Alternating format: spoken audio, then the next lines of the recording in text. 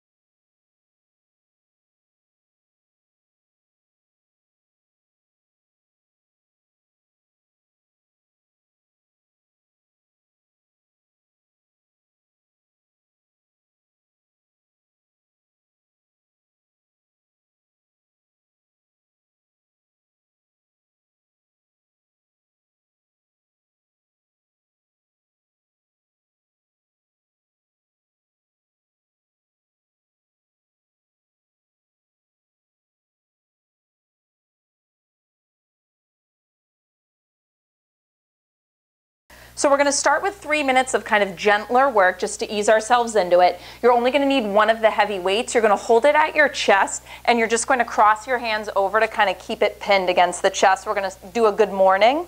From here, make sure you roll the shoulder blades down your back, chest is open, feet a little wider than hips width apart.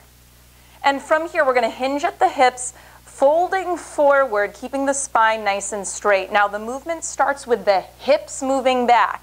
So don't just bow your shoulders forward. Your knees are not locked out here. So soft little bend to the knees, hips slide back, torso stays long as it hinges forward. Keep that chest open. You should feel the hamstrings start to wake up on this one. When you get to the top, finish it by squeezing your seat. So you're coming up, squeeze your glutes at the top, but don't squeeze your butt and arch into your back, okay? Still engage through the core, knitting the ribs in. So when you're standing, it's like you're in a plank. Core is active, glutes are active.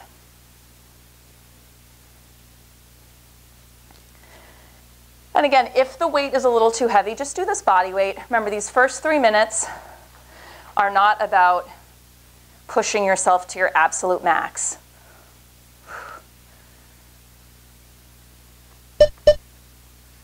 Okay, now we're just gonna add in a squat. So you're gonna do the good morning forward, Bend those knees, drive up to the top.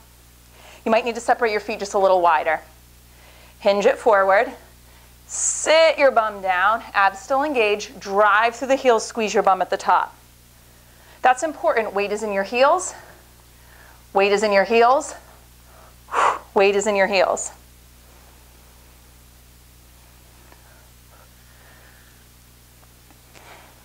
We got 30 more seconds, a little less than that to go here.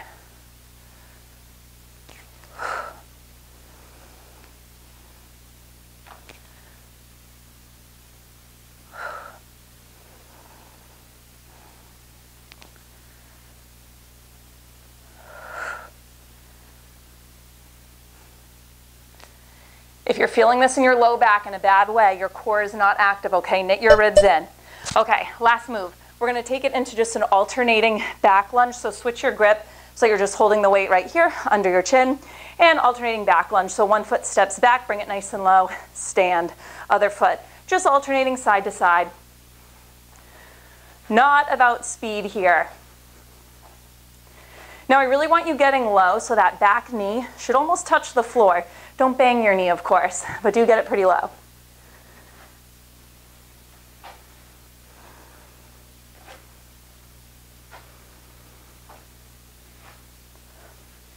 Make sure you're keeping that front knee stacked over the heel. So when you're at your lowest point, think opposing 90 degree bends with the knees.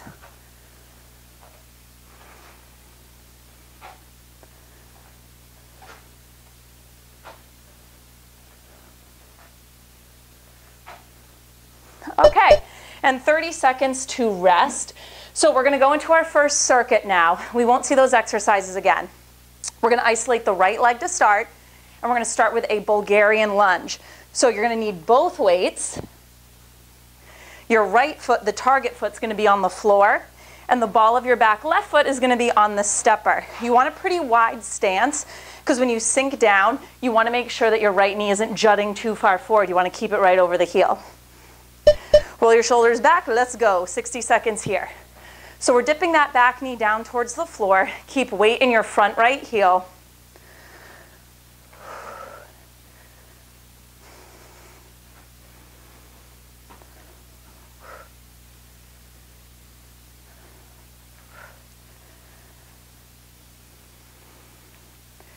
If this is too heavy, I want you to just drop down to one weight.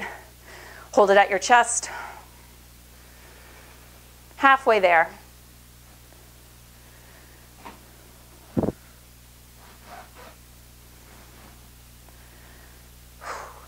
Really get low on this one. So you want this front right knee to almost come to a 90 degree bend.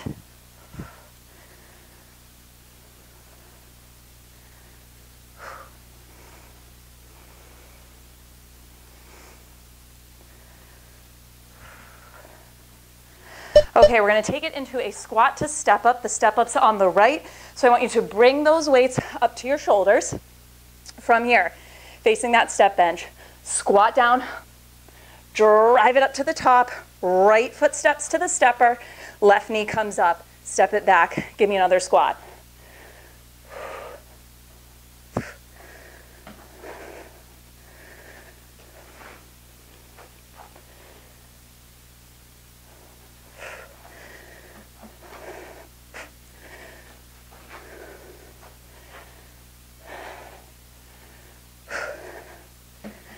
Remember what we talked about, about finishing the squat at the top.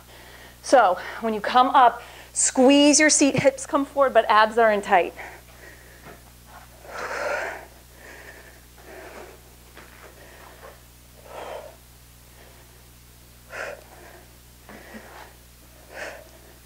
Okay, we're gonna drop down to one weight for the last move.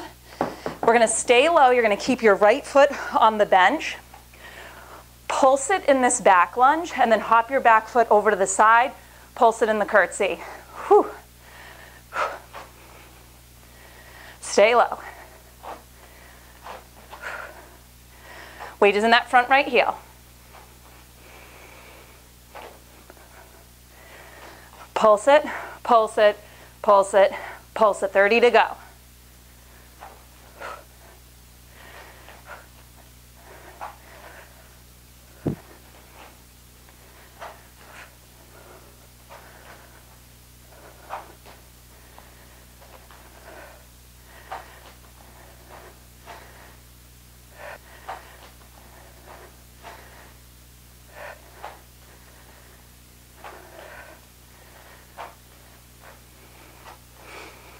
Almost there.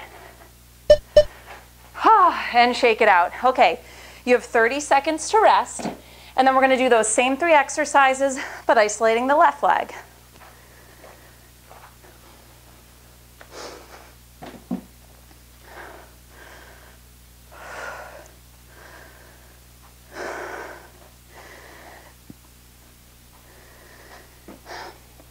Bulgarian lunge will be first. Left foot is on the floor, ball of the right foot is elevated on that stepper. Square your hips forward, and let's go. So weight is in that front left heel, and we're trying to keep the knee over the heel. If it's jutting super far forward, that means you need to step your foot forward a bit. Back knee dips towards the floor, drive it up, weight in that left heel. Let's make sure those weights aren't causing our shoulders to hunch. So roll your shoulder blades back, Knit your ribs together, low abs, pull up and in. Nice active core as we do this.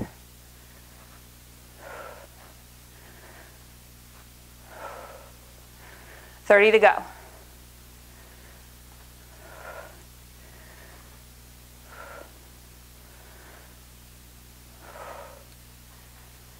And I apologize if my breathing is getting heavy. Maybe after this first round, I'll switch and I'll use a voiceover instead so you guys don't have to listen to a Darth Vader over here.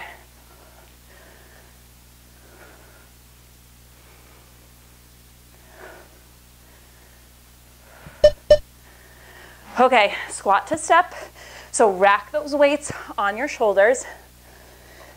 We're gonna do a squat and then it's the left foot that is gonna step to that bench. Right knee drives up, but if balance is off, just bring it lightly to the, uh, the stepper.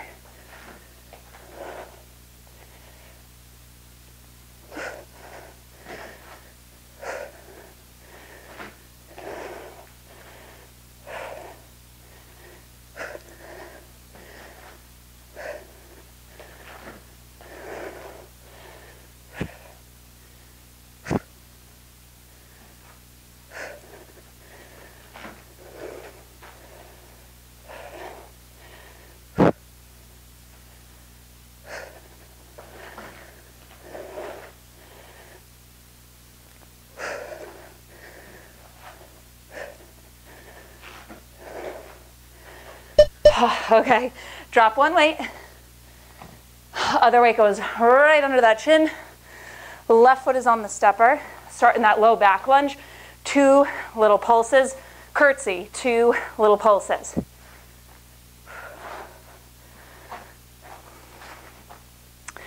Keep that front knee pointing in the same direction as the toes the whole time. So even when you're in the curtsy, don't let the knee wobble out, okay? Tracking in the same direction as those toes.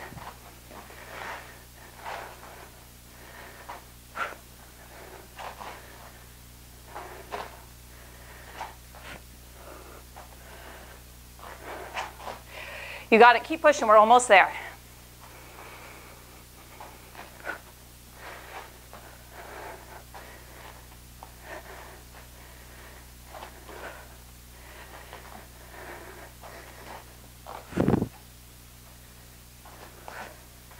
Ah, shake it out. Okay.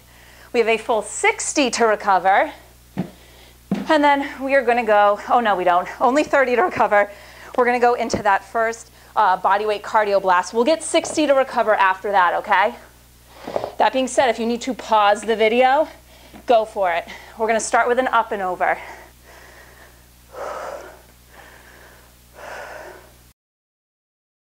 Okay, gonna switch to a voiceover here so you guys don't have to hear me breathing loudly. We're gonna start with up and overs. 60 seconds. One foot's on the stepper, one foot is on the floor, and then as quickly as you can, you're gonna replace which foot is on the stepper, hopping side to side.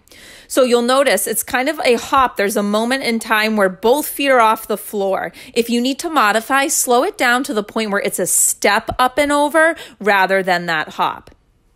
So we're 20 seconds in. We got about 40 seconds to go here. Yes, you want to go as quickly as you can. The goal here is to be totally out of breath by the end of the three minutes. Um, that being said, if it's getting to be too much, slow down the pace a little bit. Try to slow down instead of stopping altogether.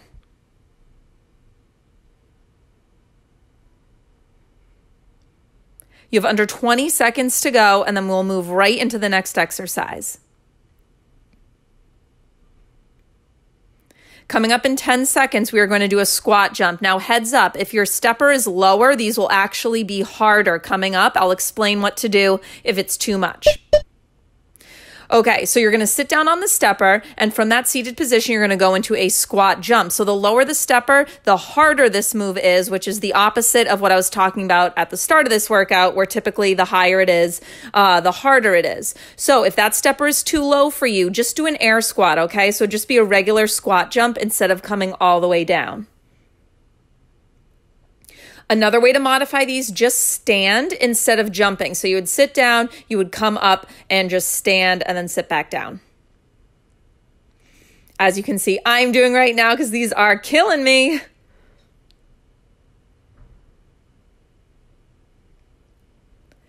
You have under 20 seconds to go. If you're taking the modified version and you have a little energy left in the tank, maybe you try to add back in that jump. You have one final move to go. We're going to do hot feet, which is kind of like a football drill, and we'll add in a jump onto the stepper. Okay, so I want you to position yourself behind the stepper. Oh, cameo from my parents' dog Wes. position yourself with your feet behind the stepper and your feet are wide. Now, every time you hear one of those beeps, jump onto the stepper. You can tell I don't want to refilm this, so I'm just going to let the dog photo bomb this workout. When you jump up to that stepper, land in a low squat. So your feet are close together, button hips down and back, and make it quick. So it's up to the stepper, then it's right back down. In these hot feet, could you sink your hips a little lower?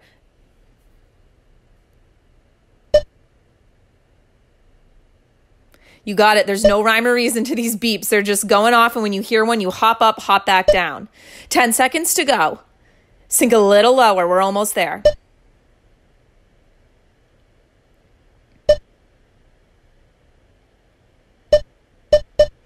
And done. Okay, you have a full minute to rest. We're at the halfway point. We're gonna do that whole thing one more time, and then that will be your workout. I'm gonna use this uh, rest interval to get my dog off the couch because it is not supposed to be up there.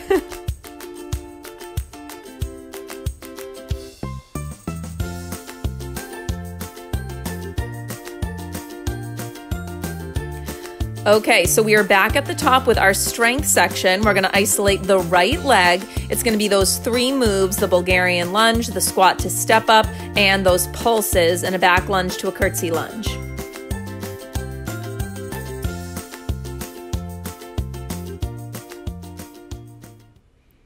Let's start making our way into position. Those beeps are coming up. So right foot's going to be forward on the floor. Ball of the left foot is planted behind you on that stepper. Remember, you want a wide enough stance so that as you dip that back left knee to the floor, your front right knee is staying over the heel. If these get to be too heavy, just ditch one of the weights and hold the remaining one at your chest.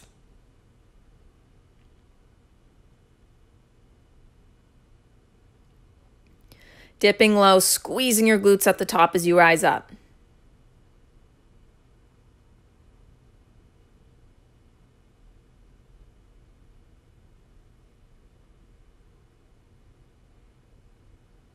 We're right around that halfway point, so I want you to check in. Are you still getting as low as you were those first few reps? As we tend to tire, these tend to stay a little higher. We don't get as low. So really challenge yourself. Dip that back knee down, up.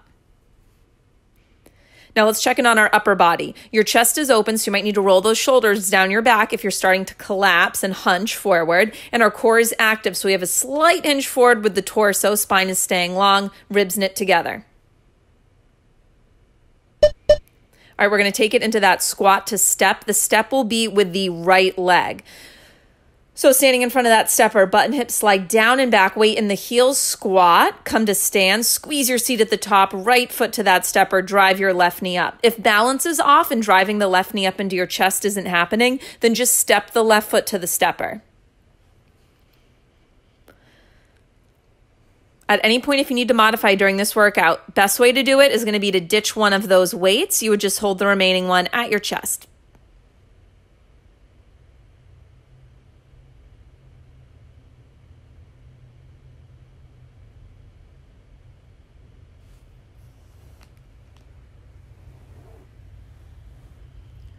We're getting there. Try to get in one or two more reps here.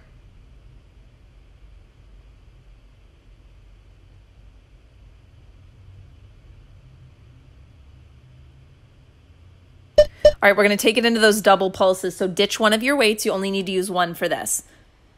Right foot is going to be isolated on the stepper.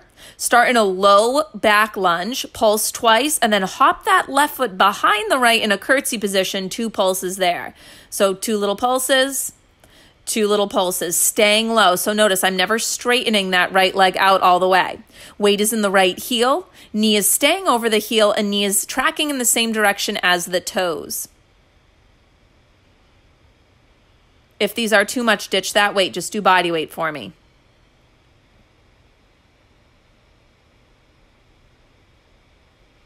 You have about 20 seconds to go, and then this right leg is done, and you'll get 30 seconds to shake it out. Stay with me right to the end. Stay low.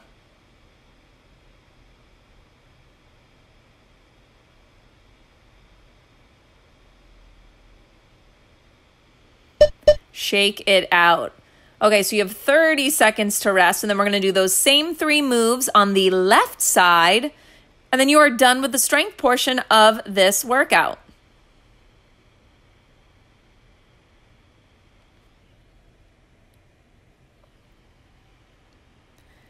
Okay, let's start to make our way into position, find those weights. Left foot is going to be forward on the floor. Ball of the right foot is going to reach behind you onto the stepper. Before you do anything, square your hips forward. So sometimes what happens on this one is we kind of roll open through that back leg. So real quick, check for me. Is your left hip closer to the wall in front of you than your right hip? If it is, slide that right hip forward, left hip back, squeeze your glutes, and then holding the hip square, dip down towards the floor.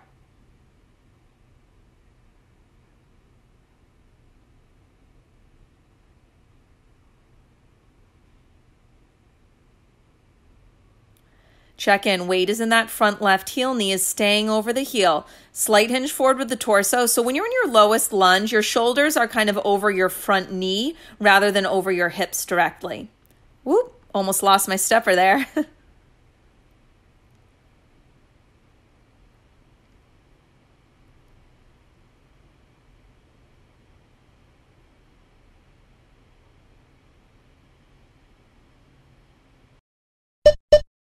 Okay, so rack those weights on your shoulders. Use your legs to help you out. If they are too heavy, to just bicep curl to your shoulders, which hopefully they are. Hopefully you picked a heavy weight.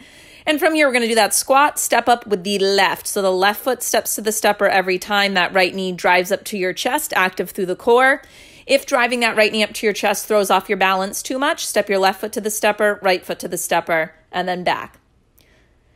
When you sink into this squat, I want you to picture someone's grabbing you by the back of the pants. So that hip hinge starts the movement. Hips slide back, weight is in your heels, knees bend, torso hinges forward, but chest stays open, spine stays long, core is active.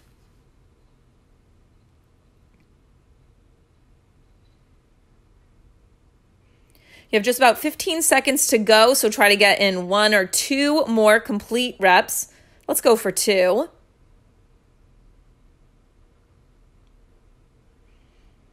We're going to ditch one of those weights at the beeps.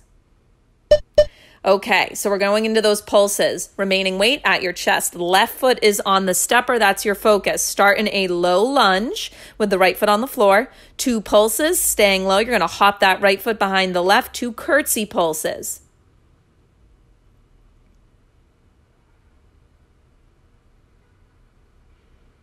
Staying low the whole time. Weight is in that left heel. Knee is over that heel knee pointing in the same direction as those middle toes, especially when you do that curtsy. Just make sure the knee isn't buckling inward.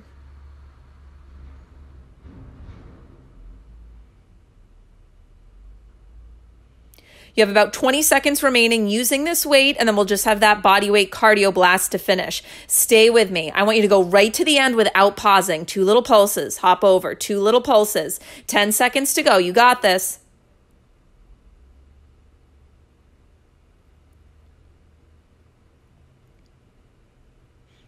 Okay, and 30 second break. Shake it out. We're entering into our final three minutes of this workout. It is those same three cardio moves. So you're going to start uh, with your feet positioned behind the stepper and kind of wide. Oh, just kidding. What move are we doing? We're starting with up and over. Start standing to the side of the stepper. There you go. One foot on the stepper, one foot on the floor, and then you will just switch which foot is on the stepper, hopping up and over. So it's a hop. You're almost airborne for a millisecond there. Side to side, run it out. Try to find a rhythm and stay in it as long as you can. When we get to the end of these three minutes, I want you to feel like you could not have gone a single second longer. So if you're comfortable right now, dial up that speed a little bit for me. If you need to slow it down, A OK. Try to slow it down instead of stopping altogether.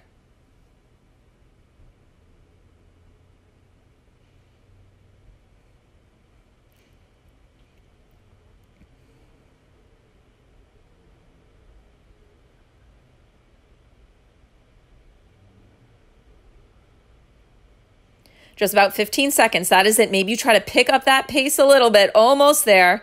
Oh, I tell you to pick up the pace as I slow it down. That's not good. At those beeps, we will go into that squat, sit to squat jump.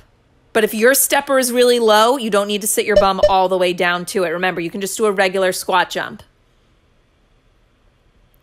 But taps that stepper, come up, jump squat, get some air. Land softly, sinking that butt right back down. If the jump is too much, just stand. Ooh, I'm struggling. I don't know about you guys.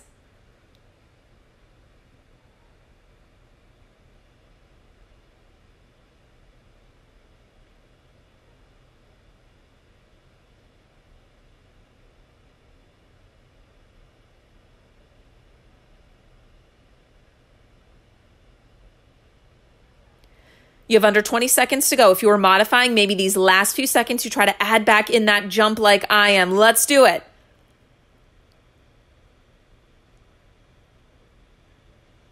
Seconds away from that final move. You got it. All right, let's do it. Hot feet. Remember, when you hear a beep, you are hopping onto that stepper. So start with your feet wide on either side behind the stepper. Run it out. Every time you hear a beep, you're hopping those feet quickly to the top of the stepper and then right back into that run. So when you're doing the hot feet, you're on the balls of your feet, and you're just kind of pedaling it out. Your feet barely even leave the floor. Try to stay low. So the lower you stay when you run those feet out, the bigger the burn.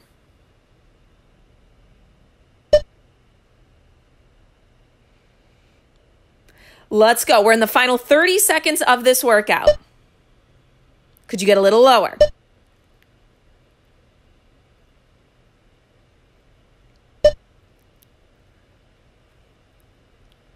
Quick, quick, quick, right to the end. Let's do it, guys. Under 15 seconds. Run it out. When you hear those beeps, quick hop, Hop to the floor, get low. Could you sink a little lower? Burn it out. Almost there, right to the end.